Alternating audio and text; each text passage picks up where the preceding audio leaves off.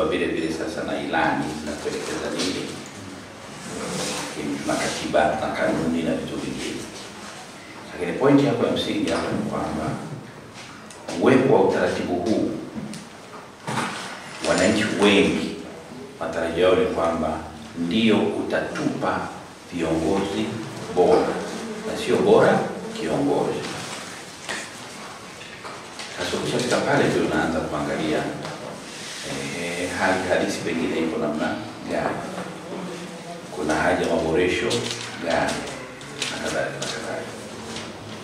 Lakini lazima vile vile tuendelee kukumbushana kwamba utaratibu wa sasa wa uendeshaji wa shughuli za serikali uko chini ya utaratibu sasa ambao tu- tume- tume- tume- tumeuleta wenyewe wa vyama vingi. Kwa tuna tunajiita sisi chama tawala, vyama vingine vinakuwa ni vyama vya upinzani ambao viko the other side, wanajaribu kuichemsha serikali iweze kuzingatia yale pengine iliyoamini na kadhalika, kama wanalitazama kwa mtazamo sahihi. Kwa hiyo ni kipindi ambacho kwa wale ambao tu, tuna tuko kwenye chama kinachotawala lazima tukubali vile vile kwamba lazima tuendelee kwa nguvu zetu zote kuhakikisha kwamba tunatoa watu kwanza wanaokubalika na jamii ambayo ninakwenda kuwapigia kura. Okay. Lakini pili, wawe na sifa basi. Zile ambazo mtu kisema ni fulani ndio tunataka ende kugombea nafasi hiyo au ya udiwani au ya ubunge au ya eh, serikali za mitaa kwenye viti na kadhalika na kadhalika, watu waseme "Ah, kama ni yule bwana, hatuna shaka naye, ni mwaminifu, mwadilifu sana, ni mtu bwana, ni mtu mambo mengine mbalimbali. Kwa hiyo ngoma pale ni namna tunavyoacha nafasi kwa umma kuamua juu ya mtu ambaye wanatamani kwamba huyu atawafaa. Sasa vikwazo? Vikwazo viko katika matumizi ya fedha. Kwa maneno mengine, naweza kwa kweli mbele ya macho ya Watanzania si stahili kuwa na cheo chochote, lakini ina vihela vya kutosha. Kwa hiyo nikiinuka, tukienda kwenye uchaguzi, mimi usiku wa silali.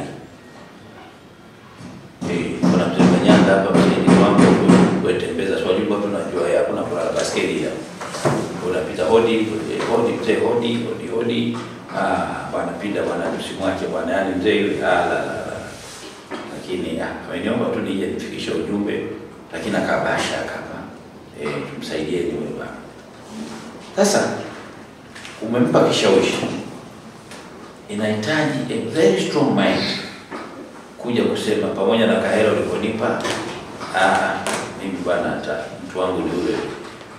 Na mimi napenda tuwe na watu wengi wa aina hiyo, kula hela yake, lakini naweza kapige kura kulingana na unavyoona nani atatufaa kama kiongozi. Kuna watu pengine wadhaifu kidogo, anasema afadhali, ah, huyu mja alikuja hapa juzi amefika tu maneno maneno tu hivi kaondoka.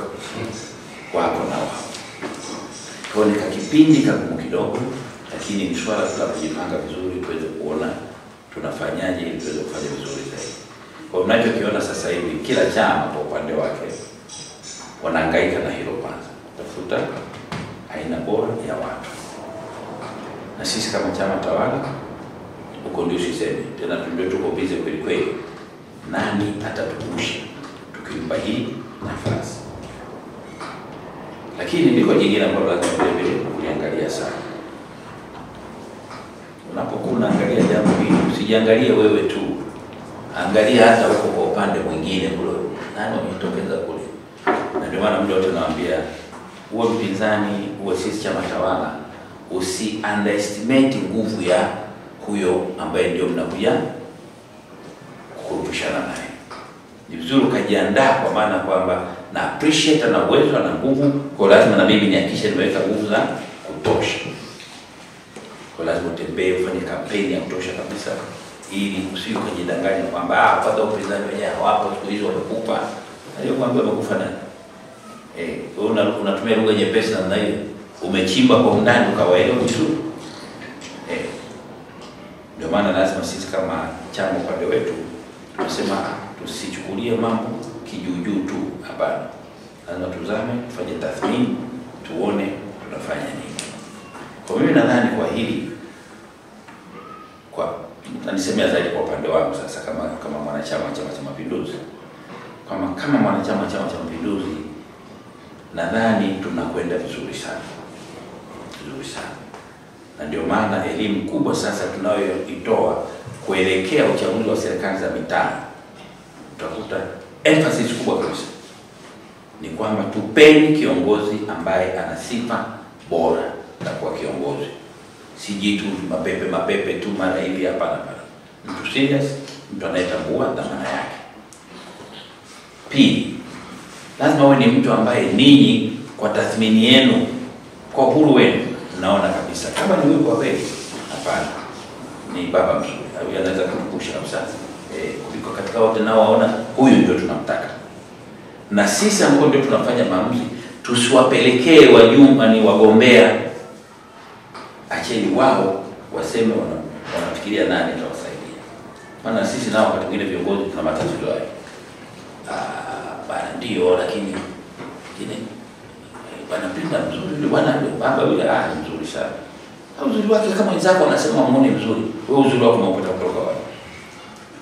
Kwa lazima tuwe na kaukuli hivi, lakini tusimamie zoezi kwa maana ya kuwasaidia wale waweze kufikia tamati katika hali ambayo ni ya uhakika. Na mkienda kula mna upinzani mtakaopata, kwa sababu mmepeleka mtu ambaye ndio mwenyewe wanayemtaka. Na ndio maana kwenye eneo hili mimi kunipa nafasi siku zote nasema